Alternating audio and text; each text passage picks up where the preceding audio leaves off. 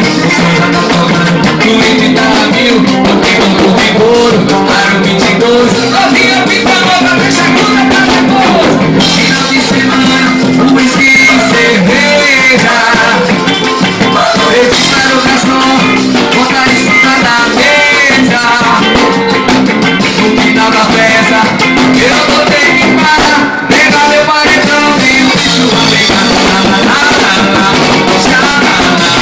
Freedom.